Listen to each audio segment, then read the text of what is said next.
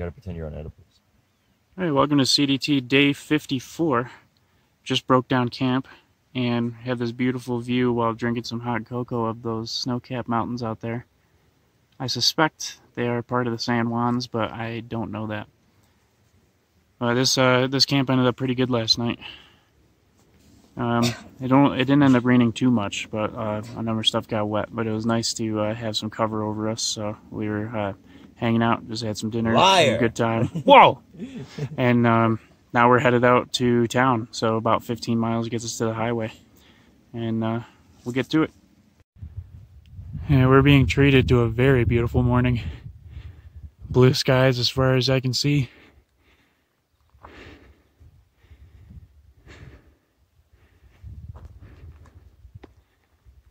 So we're gonna continue on, get this day going.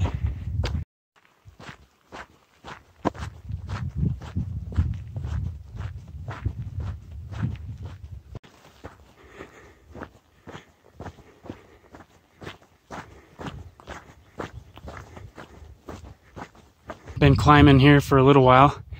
Um, part of this day is a thousand foot climb, but it's broken up by little flats and downs here and there. It's not a continuous thousand. But right now, I have about 400 feet to go before I hit my high point, and then it's mostly down to the road. About six and a half miles left, so I'm past halfway. Um, Jacob and Two Slice are behind me. I don't know how far away, so I've just been putting little J's in the ground. Uh, they know that that means J for Jandals, and I just make a little J like that. Yes, yes, artistry with my left hand, and then um, an arrow. Uh, most of it, most of the time, I put those J's at turns so that they know that I turned a certain way, and sometimes, like there, I just put it on the trail directly so they know that I've already been through here and I'm not like somehow randomly behind them. And uh, eventually they'll catch up to me and we will hitch to town and have a great day.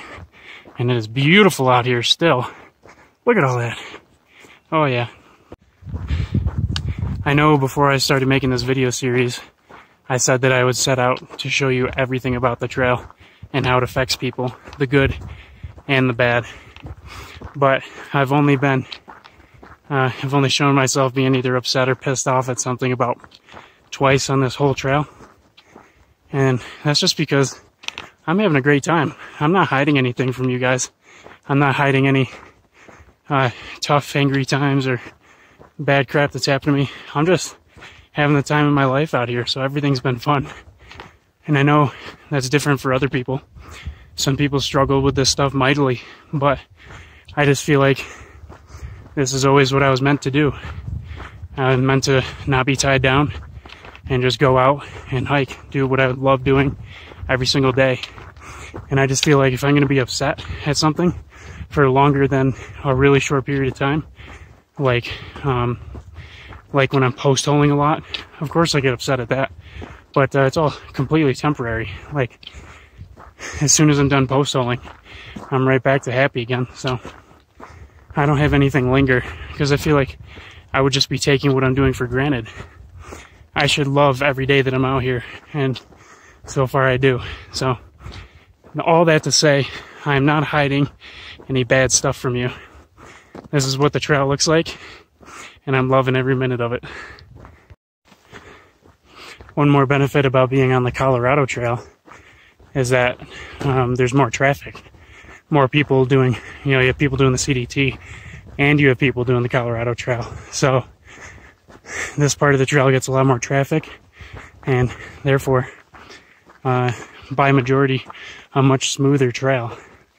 So I'm on like farm track or this single track and it's just really nice, easy to walk on. Uh, you just don't get trail much better than this. Beautiful single track through the woods. Nothing to step over. Solid ground. And barely, there's no like rocks or roots or anything. This is the trail I like. Right now anyway.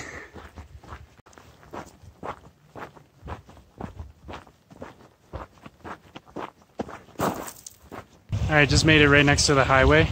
Um, I have a pretty good view out here. Uh, beautiful stream below me right there. Yeah, the mountains and all that. It's really nice.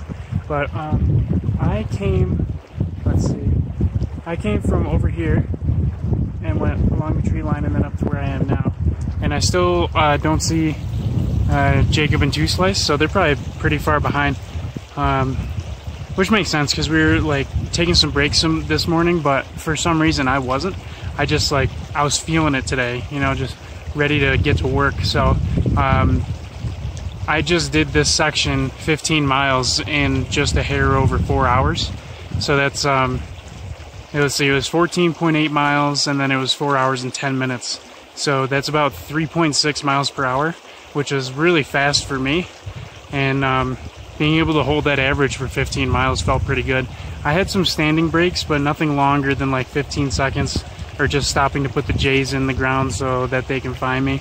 But I never took my pack off and I'm still going. So it, it feels really good mentally um, and physically. I just feel like this section has helped train me quite a bit.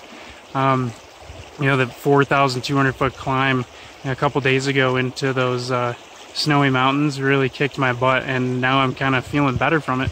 Um, you know, I had a thousand foot climb, but I just walked the whole thing without stopping. It's uh, it's really encouraging to see my cardiovascular health improve and um, my strength as well. So it's a really nice thing to see, and it uh, it motivates me, and it's probably what motivated me to come all the way over here without any big stops. Uh, feeling really good and uh, ready to get into town and clean myself up.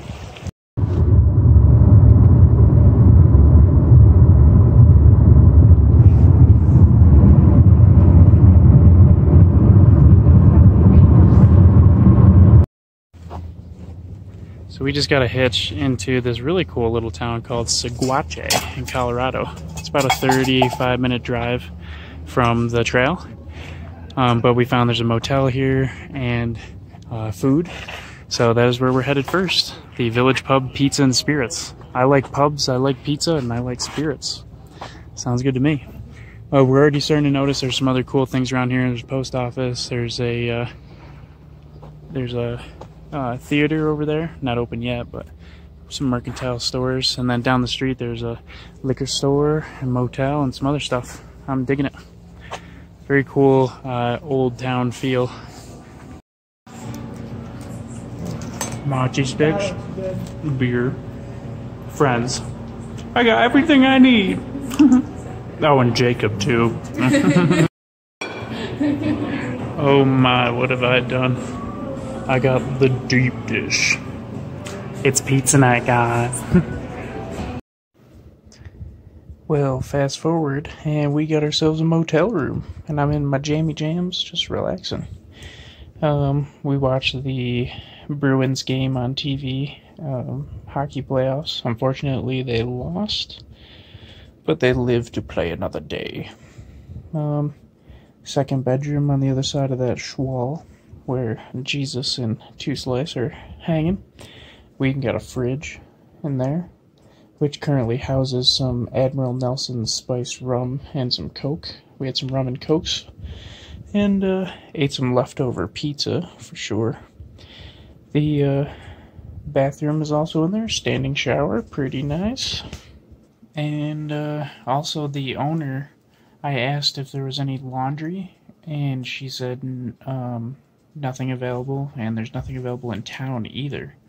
So we are kind of stuck not having any laundry done.